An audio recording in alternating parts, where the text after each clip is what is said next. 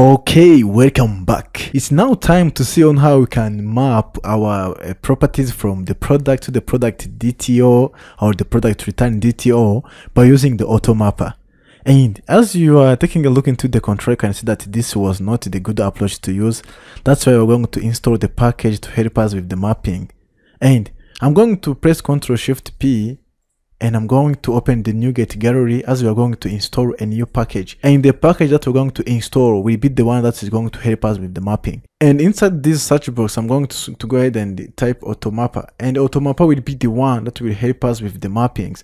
And you can see that in the list of the results, there will be a lot of these, but we're going to install this with the dependency injection.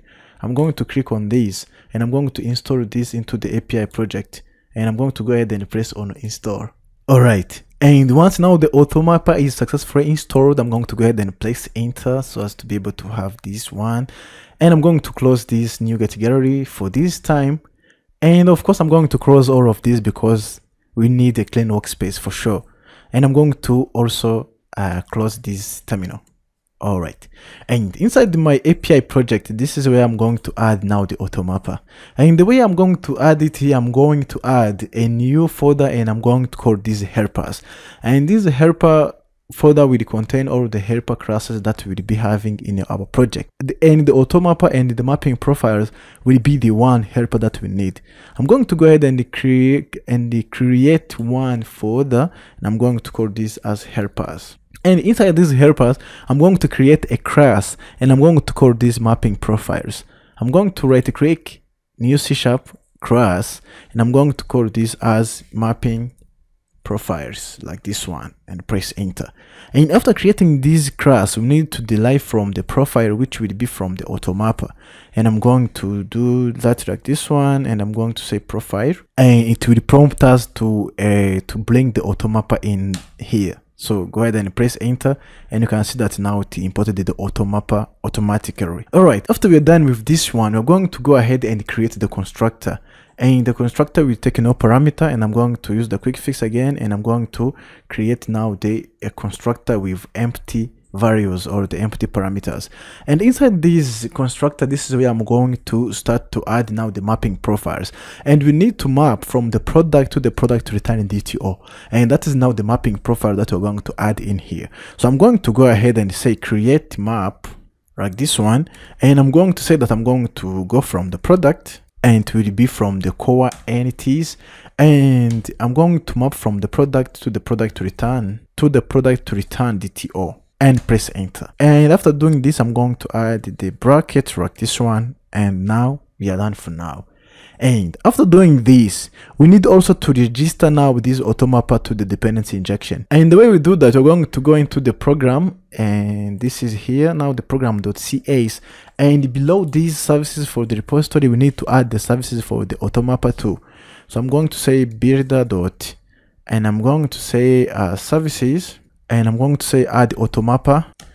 And the way we are going to do this I'm going to say app domain and I'm going to say current domain and I'm going to say and I'm going to say get assemblies. Here it is current domain and I'm going to go ahead and say get assemblies. Like this one and don't forget to close this bracket and then we are done. After registering now this automapper into the dependency injection, we need to use it into our product control so as to be able to perform all the mappings. And the way we do that, we're going to go into our controllers and open the product controller. And inside this, we need also to inject the automapper in here and you need to create also the field from the parameter. And i'm going to use the imapper uh, which will be the interface for the automapper like this one. And i'm going to go ahead and press enter. It will have to import it itself and i'm going to call this as mapper.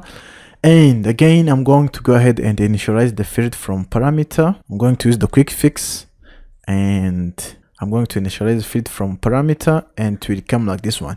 And we, we've been struggling to assign this underscore for the past videos, but there is a way we can do this. And whenever we're going to initialize the property for the private property to automatically put this underscore, but we need to configure that into the C sharp extension. So I'm going to go back here and press Ctrl Z and I'm going to go into my extensions and I'm going to go to the C sharp extensions and I'm going to go to the settings and I'm going to go to extension setting. And I'm going there is now this for private member prefix and I'm going to add the underscore like this one and boom I'm going to close this. And you have you have to test if it is working or if we need to refresh our VS code. So I'm going to go here and try to do that again. So whenever I press Ctrl dot and try to uh, to initialize field from parameter, can see that it's not working but we can refresh the vs code. So i'm going to save all the changes and i'm going to go here the, here and say uh, the load and i'm going to say load.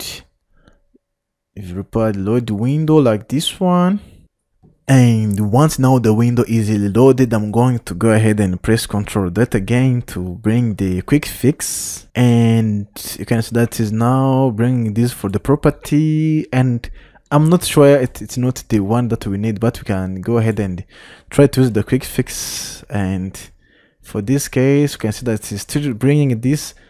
I don't know why, why it's so mean. I'm going to go ahead and press Ctrl Z and then do this again.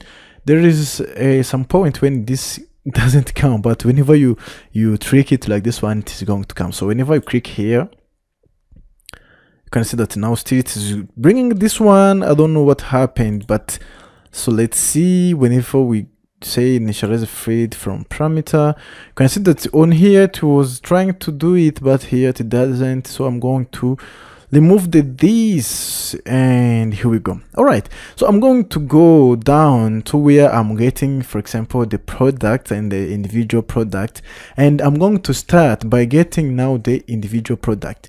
And the way we're going to do that we are going to see on where we're getting here now on the return Instead of returning this as a big object, we're going to use the automapper so as to be able to bring the data from the repository. And we're going to use the automapper to map the product with the product return DTO. So I'm going to say mapper dot map and in this case we're going to go from the product and I'm going to say product return DTO and after this I'm going to go ahead and pass the product here and after we're done with this we can go ahead and and after we're done this we can go ahead and do the same for now returning the rest of the product and instead of now doing this i'm going to remove everything from here and i'm going to use automapper to do this.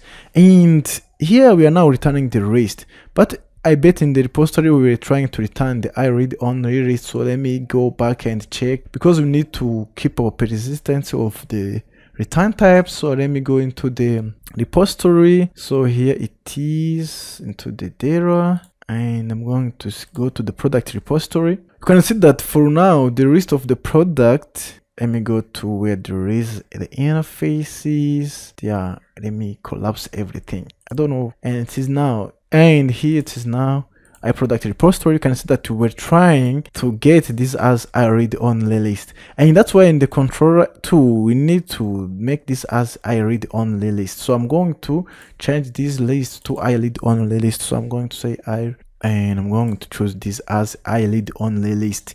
And whenever we are using I read-only list, we need to wrap this into the OK so inside here i'm going to call the mapper and i'm going to also map and we're going to map from uh, the i read only list of uh, the product. So i'm going to say i read only list and this will take a type of the product uh, to take type of product and we need to also map this to I read only list. I read only list of um, product return DTO like this one. And for this case we need to close this. And after closing this like this we need to pass in now the uh, products in here. All right so this is it. After we have done doing all of this we, we, can go ahead and restart our server to see if now the changes were applied. So i'm going to go into the terminal and of course i'm going to stop the server and i'm going to restart the server again. So i'm going to go up one level like this and press enter.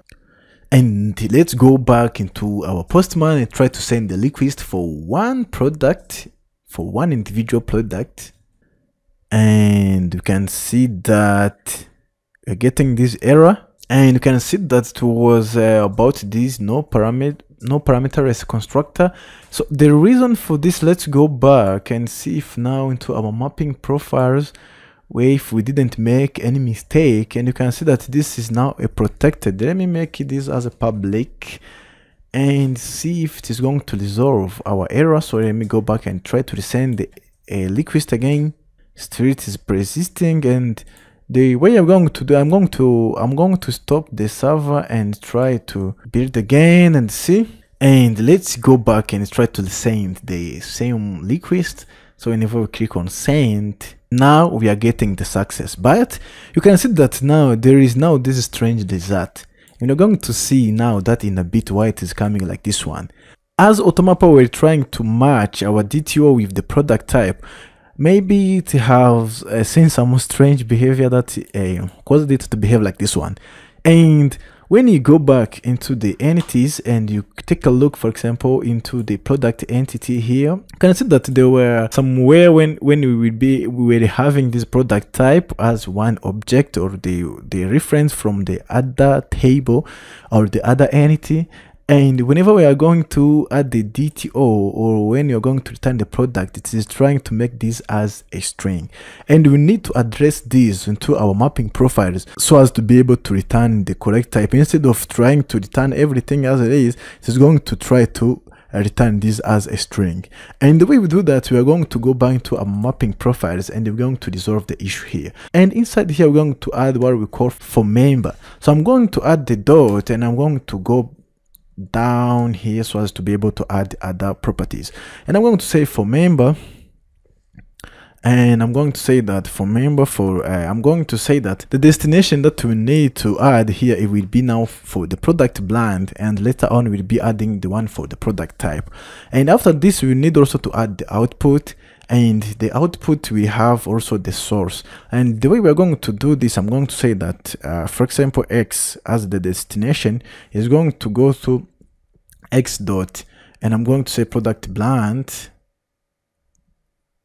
product brand and after getting this product brand i'm going to add the second parameter. And the second parameter that we're going to add will be now the output. I'm going to call this for example as i and this i will go to for example um, i will go to i dot.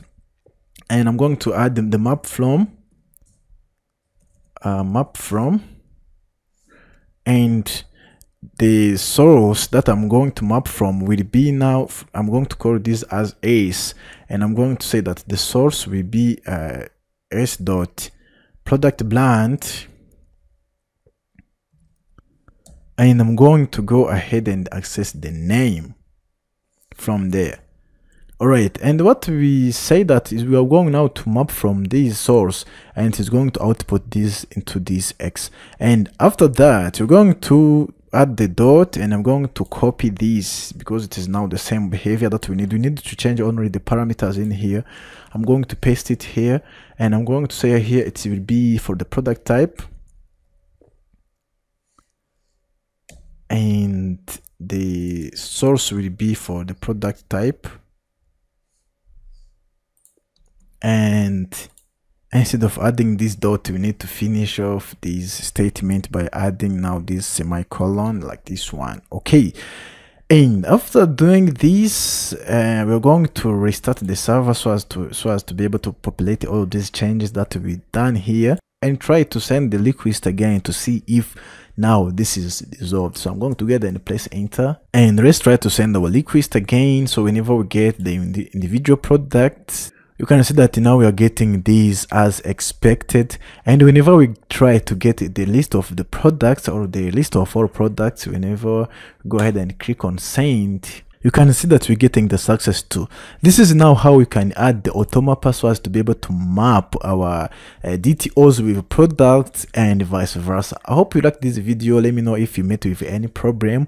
Make sure to leave the comment if you uh, enjoyed this one and go ahead and place the like button. To help us with the algorithm stuffs. And from now on till next time stay cool and peace. See you in the next video